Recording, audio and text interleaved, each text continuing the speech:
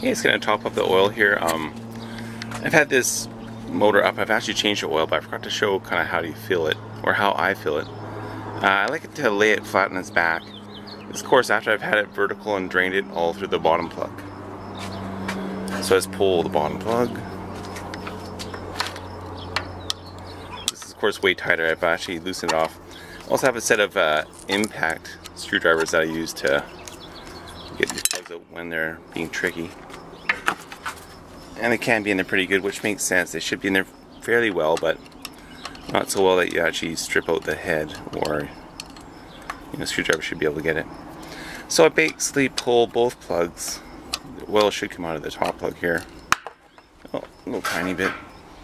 And then I take uh, good quality gear oil. That's what I use on this one. Uh, synthetic oil. And it's got the nice tip on the top. And cut your tip to fit.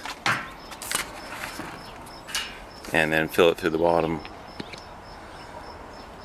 until the oil comes out the top.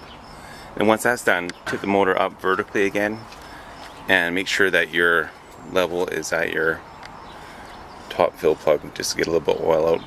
But basically having it like this will fill the bottom cavity and then the oil should be basically right and you get nice clean oil coming out. Okay, just uh, have the motor up uh, locked in the upper position just on a stand or you could do this on your boat too.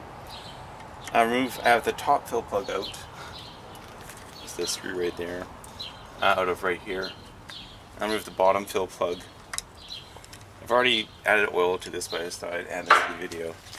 I take my uh, uh, gear oil with a handy tip on the top and I'll just put it in the bottom for the lose too much.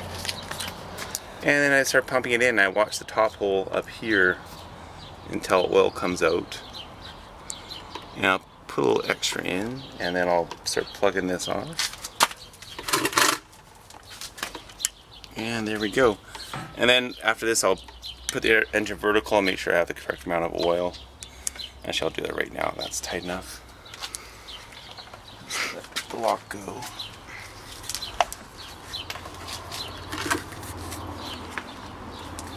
Okay, so it's not quite coming out of the top hole. I'm sure it's closed, so I'll just force a little bit more oil in.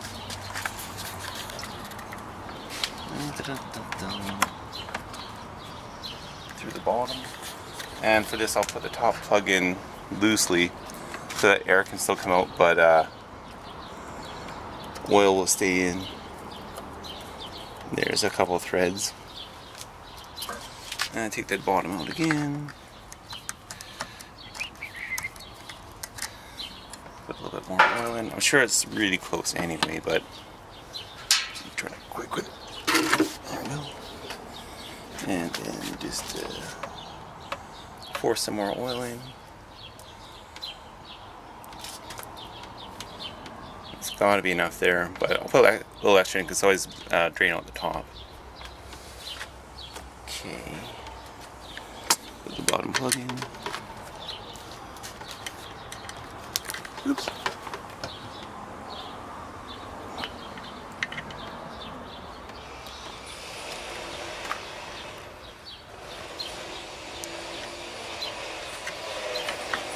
Check that.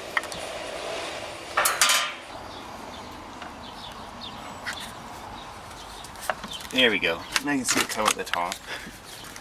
Let's pull the top plug. There we go. So that's perfect. nice.